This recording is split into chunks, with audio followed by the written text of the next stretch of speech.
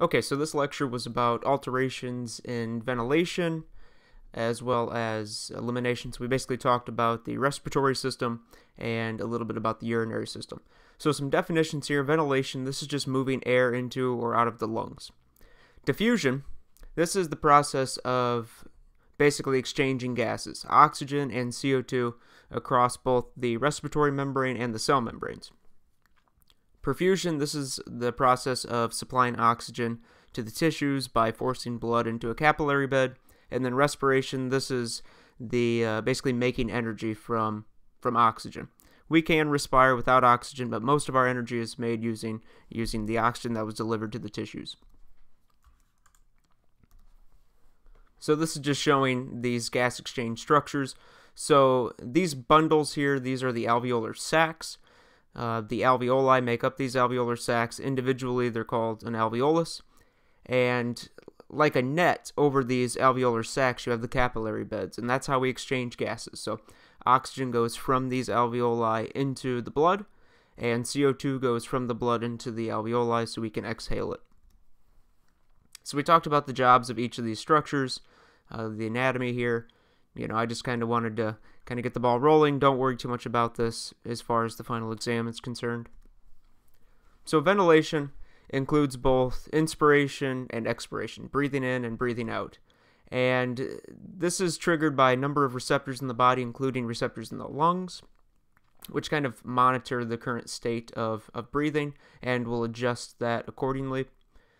There are also chemoreceptors, which detect uh, gas levels in the body and this is based a lot on the partial pressures of these gases as well as the pH, which makes sense because we know how gases like CO2 can affect the pH of blood.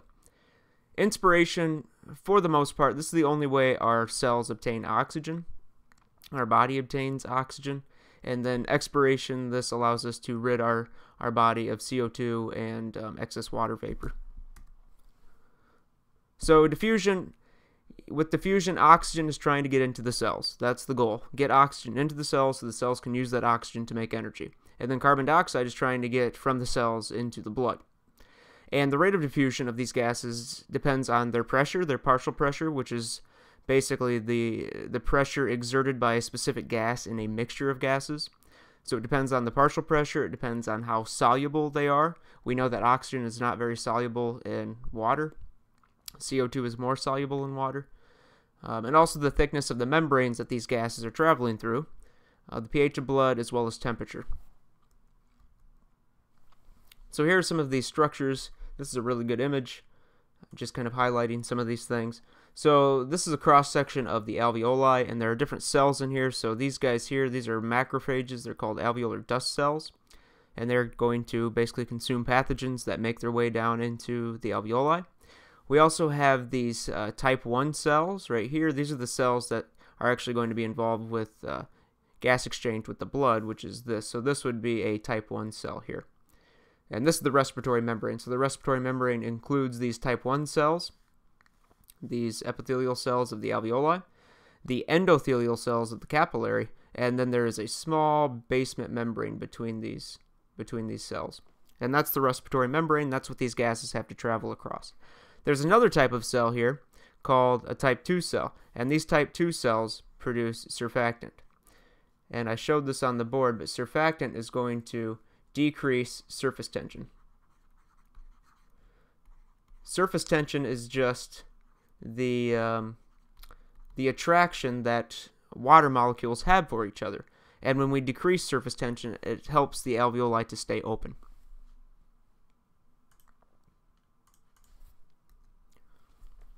So then we talked about the transport of these gases, oxygen and CO2. Oxygen is not very soluble in water, so very little is found in plasma. But this is okay because we have hemoglobin, and hemoglobin contains four iron atoms. Each iron atom can hold one molecule of O2. So that's how we solve that problem. Instead of transporting oxygen in the plasma, we just transport it uh, via hemoglobin.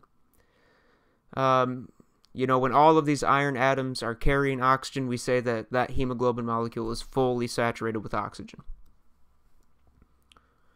So the factors that affect the unloading of oxygen, so hemoglobin getting rid of oxygen, letting oxygen go, there are a couple of them. So if you have a low partial pressure of oxygen in the tissues, hemoglobin is going to unload more oxygen into the tissues. That makes sense.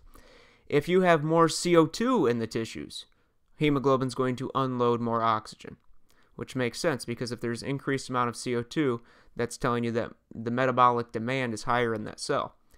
Temperature, as temperature increases, um, hemoglobin is going to unload more oxygen. And also, as pH drops, the hemoglobin is going to unload more oxygen. And again, that makes sense. If there's a decrease in pH, that tells um, kind of tells the body that CO2 levels are probably rising or possibly rising. And if CO2 is up, again, increased metabolic demands, so more oxygen is unloaded. So the transport of carbon dioxide is a little more interesting. It's more soluble than oxygen, so you'll find around 10% dissolved in plasma. The rest of the CO2 is going to go into red blood cells, and 20% will bind to hemoglobin, not to iron. It binds to the uh, amino acid regions of hemoglobin. But the vast majority of CO2 is going to enter these red blood cells and undergo a chemical reaction.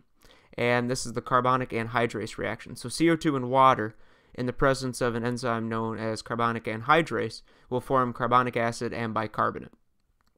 So basically what we're saying here is CO2 enters, most of the CO2 will enter red blood cells and become bicarbonate, which we know is a base.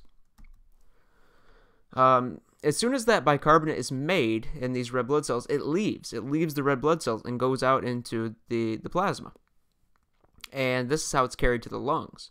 However, since bicarbonate is an anion, when it uh, leaves the red blood cell, we have to move something into the red blood cell, another anion, and we do that with chloride. It's called the chloride shift. Now, once this blood gets back to the lungs, these reactions are completely reversed, and CO2 is formed, and then CO2 is going to be exhaled, of course.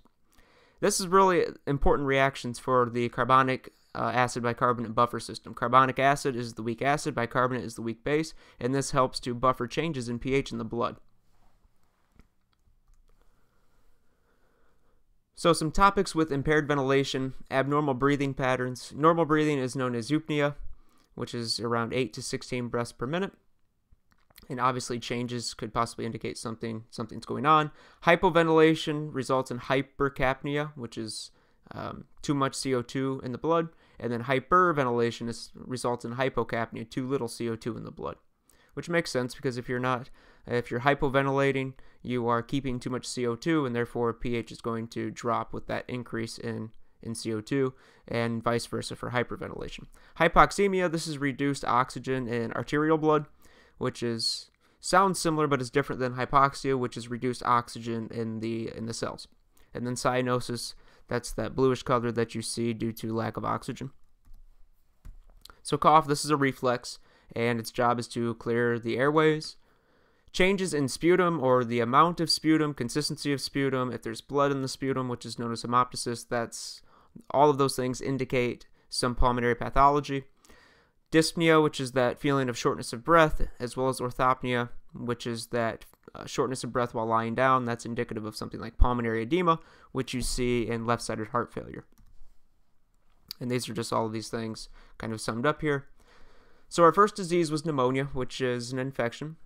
It can be community acquired or nosocomial and this is going to cause inflammation in the distal airways. So the alveoli, uh, the respiratory bronchioles, the alveolar ducts, and even some of the interstitial tissue within the lungs itself.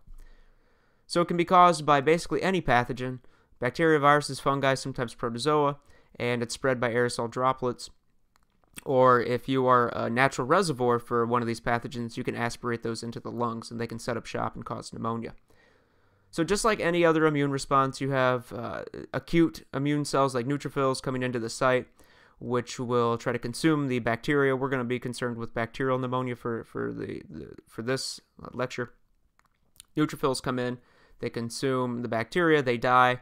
That's where you get that exudate and that pus, along with the the leaky blood vessels from the inflammatory response.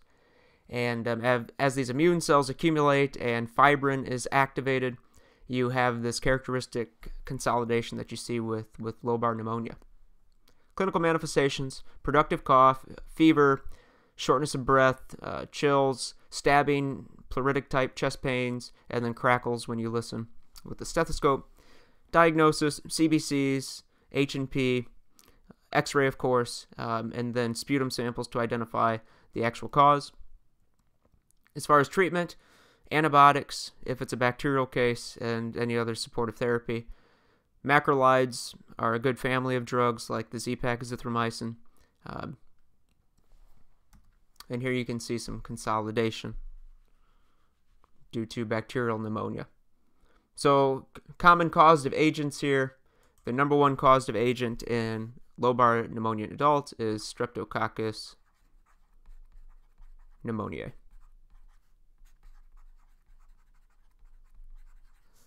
This is the same thing when you hear pneumococcal pneumonia. It's the same thing. That's what they're referring to.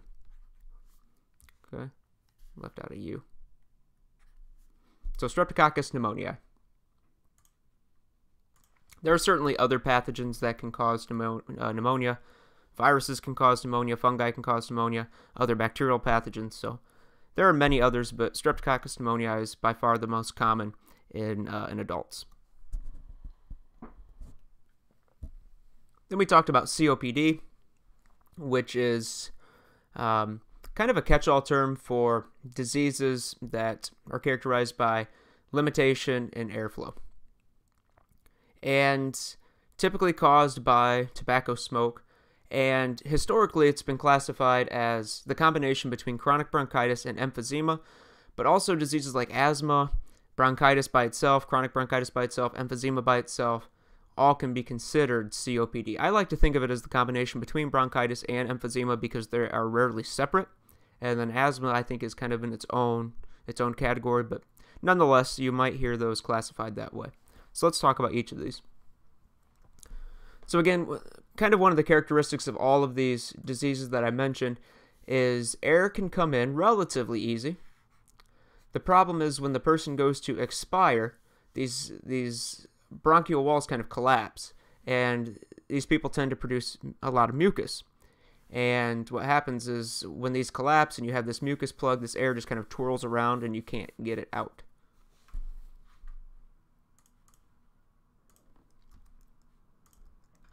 So, chronic bronchitis, the definition hypersecretion of mucus, as well as a productive cough for at least three months per year for at least two consecutive years. Inhaled irritants are going to just cause this inflammation, which is bronchitis. And with any sort of irritation or inflammation, you produce mucus.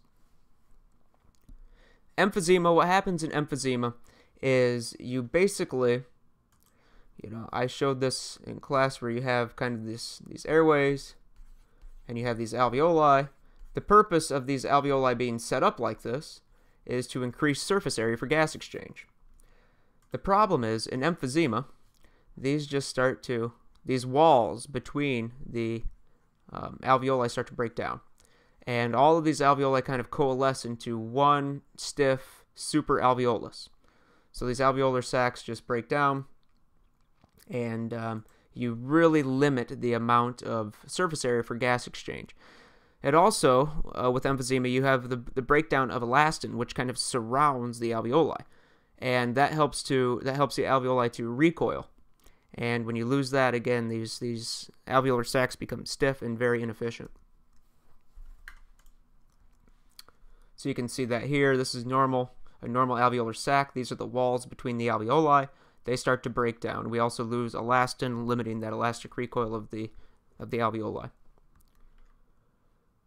So asthma, asthma is a very common pulmonary disease. It's a chronic disorder. Uh, basically, what happens is there is hyperresponsiveness in the the bronchi and the bronchioles, and when they're hyperresponsive, they constrict, and they also produce. There's also the production of mucus, of course. Remember, anytime you irritate smooth muscle, which as you can see, there's smooth muscle wrapped around these these airways, anytime they're irritated, no matter what the cause is, they're going to constrict, and that's what's happening here. And along with that irritation, you get the um, the production of these mucus plugs. And unfortunately, in this case, this airway's cut off, and these are hyperinflated airways, and that's not good because these can these can rupture. So clinical manifestations: wheezing, common cause of a chronic cough, increased respiratory rate, shortness of breath. Treatment beta agonists, which are going to increase sympathetic output, like albuterol, inhaled corticosteroids, like Advair, and of course, anti inflammatories, um, prednisone for, for acute type asthma attacks. Cystic fibrosis, this is a genetic disease. It's autosomal recessive, and it's due to a mutation in um, the CFTR gene, which is a chloride conductance channel in the membrane. And the problem with this is when you don't conduct chloride properly, you also don't conduct sodium. And when you don't conduct sodium, you don't conduct water. So what happens is you get this abnormally thick mucus that's produced. And this affects multiple organs, but the most severe manifestations occur in the lungs. That's why we talk about it here. So you get mucus plugs that form, and um, this mucus is very thick. It's hard to be cleared, and it just kind of adheres to the epithelium because the cilia can't beat this um, this very thick mucus up and out. It's just too thick. It's too heavy, and uh, when it sits there, it really increases the chances of infection. So a lot of cystic fibrosis patients will will die of infection. Clinical manifestations: cough, purulent sputum, especially if infection is present, increased respiratory rate, wheezing, um, clubbing of the fingers, and then there are other manifestations, systemic manifestations, but we're going to focus on on the lungs. So as far as diagnosis and treatment, H&P genetic testing, again, this is autosomal recessive, so the parents either have to be affected or they have to be carriers for this. So uh, family history, of course, and a sweat test. So if the chloride concentration is too great, greater than 60 milliequivalents per liter, that's indicative of cystic fibrosis. So as far as treatment, you're trying to keep the airways as clear as possible. You're trying to break up that, that mucus. You want to treat infections. Uh, nutrition is really, really important um, because they have they have a decreased ability to absorb nutrients because of these uh, conductance channels, um, and also bronchodilators. Life expend- uh, expectancy is increasing, so it's around 30 to 40 years. Males live longer on average. Why that is, I'm not sure, but um, you know, around 30 years ago, people didn't even make it out of their teens. So we are we are um, making strides when it comes to cystic fibrosis. So this is just showing what's going on. So this is actually mutation. It can be there's a number of mutations actually that can result in cystic fibrosis, but they all include are all involve the CFTR gene, chloride conductance channel. And this is on chromosome 7. And as you can see here, this is the channel. Okay, so this gene encodes for this protein, which is a chloride conductance channel. The problem is, since it's defective, chloride cannot be conducted across the membrane. And when chloride is not being conducted, that uh, not only um, stops sodium from being conducted, but actually pulls sodium into into um, into the cell. And with that, you have water moving into the cell. So all of this out here, where you want water and sodium, so you can loosen up that mucus, it's not there. So you get that very thick mucus.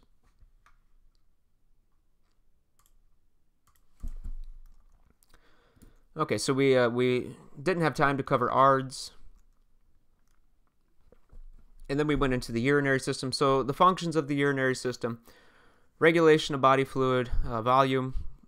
Um, a lot of that's because of RAS, which we went over again, as well as body fluid composition, elimination of waste, things like urea and ammonia, um, synthesis, activation, and release of hormones like EPO, which is erythropoietin, which is necessary for the production of red blood cells. Renin, we all know what renin does. It cleaves angiotensinogen. Vitamin D, vitamin D actually, uh, the majority of it becomes fully activated in the kidneys. And then long term blood pressure control is done by the kidneys. Of course, manifestations of changes in urinary function, pain, changes in urine volume or composition, uh, bleeding, nausea, vomiting, fever in the cases of infections. So, um, here is the, the, the general schematic of the urinary system. So, of course, there are two kidneys, there are two ureters, uh, the urinary bladder, and then the urethra. If we kind of look inside the kidney, we have these renal pyramids, which compose what's known as the renal medulla. And then you have this outer portion, which is um, composed of renal columns. The outer portion is the cortex. And um, at the ends of these renal these renal pyramids, you have the renal papilla, which drain into these minor calyces, which drain into major calyces, which will drain into the renal pelvis, into the ureters, so on and so forth. Okay. I'm not going to I'm not going to ask any of those anatomical questions um, unless they pertain to to the disease. So urine formation, um, the functional unit of the kidney is the nephron, and the nephron has two parts. It has a glomerulus and a renal tubule. I'm just going to go to this picture. So there are two parts. This, all of this, this is all nephron. And basically, the glomerulus and the renal tubule make up the nephron. Now, the glomerulus is just a very high pressure capillary bed, and it is fed by an artery, an arteriole called the afferent arteriole. And when this arterial blood comes in, it pushes fluid out, filtrate out. Very high capillary hydrostatic pressure here. And when it pushes this fluid out, Bowman's capsule catches it. It's called filtrate. And that filtrate is just going to move through the rest of the renal tubule. The first part is the proximal convoluted tubule, the next part is the loop of Henle, and the final part is the distal convoluted tubule. And eventually, multiple nephrons will drain into this structure called the collecting duct or the collecting tubule.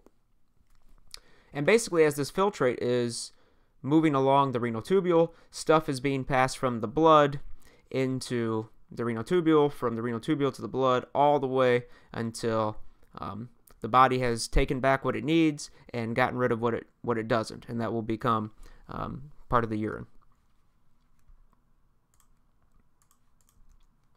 So this is just showing where um, the sites of transport are occurring for these different substances in the in the renal tubule. So we kind of went over really quickly. I mean, you don't need to worry about the uh, elimination of urine. It's not really important for this exam. And then we talked about kidney stones. Kidney stones are calculi. The condition of having uh, kidney stones is called nephrolithiasis, or sometimes more vaguely called urolithiasis, the condition of having urinary stones. And these are just masses of salts that have become supersaturated and they've crystallized. Most of them are going to be calcium oxalate. But there are a, a, number of other different types. Like there are uric acid stones, there are struvite stones, cystine stones. There's a number of other types, but the most common is calcium oxalate. More common in med, and um, risk factors: age 24 to 49, decreased fluid intake. I think that's probably one of the biggest. Just not drinking enough water. Um, but also diet. If you have high calcium diet, that's been linked to, to kidney stones and decreased level of activity.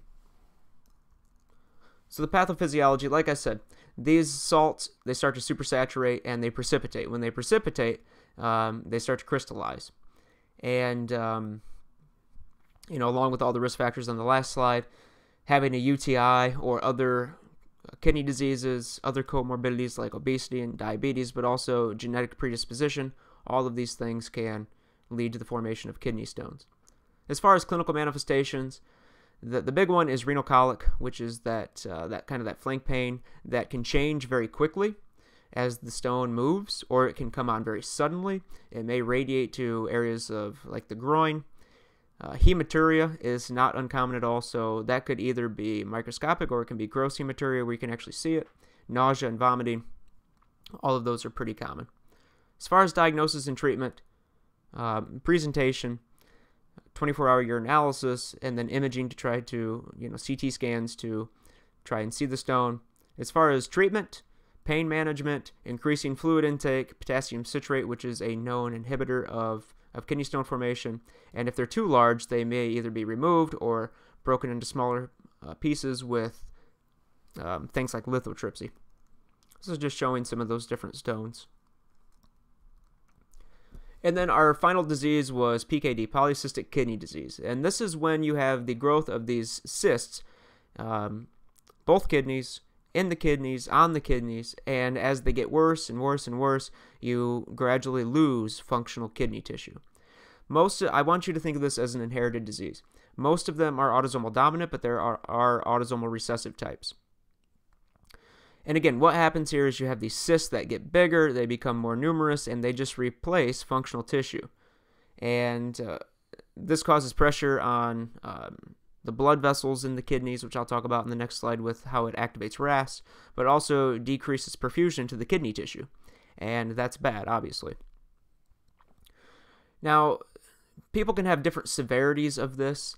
They generally will always get worse, but some people get worse much more quickly, where they are um, have complete loss of function by the time they're 40. Some people go and live a relatively normal life. So it really depends on the exact type um, as far as the severity of PKD. So clinical manifestations, hypertension, because this stimulates RAS.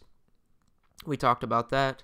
Flank pain, UTIs and kidney stone formation are very common, and also cysts of other organs. So since this is a mutation, it's not just in the kidney, so they'll have cysts on things like the liver, cysts on the, the pancreas. So these cysts are not confined to, to the kidneys. And those cysts on other organs can impair their function just like they impair the kidney function. So, as far as diagnosis, based on the presence of three or more cysts uh, seen by ultrasound, also a family history and genetic testing can tell you if you have this, this disease and um, the presence of these extra renal cysts, these cysts on other organs, that's a huge finding. As far as treatment, you know, just living a healthy lifestyle, supportive therapy, and um, end-stage renal disease care, um, like hemodialysis at the if it gets to that point. Again, not everybody reaches that point, but there's really no way, no matter what the severity is, there's no way to slow down the progression, no matter how fast or slow that progression is. So here are these cysts again. They're they just completely consume these kidneys and um, replace that functional tissue. This is just showing um, how this damage affects the kidney disease and then of course hemodialysis. So that's going to wrap it up for me. Um, again, your exam will be I sent all that that information out, so it's 75 questions. Um, I sent you the topics. There won't be any surprises. All of the stuff from this lecture will obviously be new, but um, all of the topics will be the same that we've covered covered um, before. So just go by go by those topics, and of course, if you have any questions, please let me know.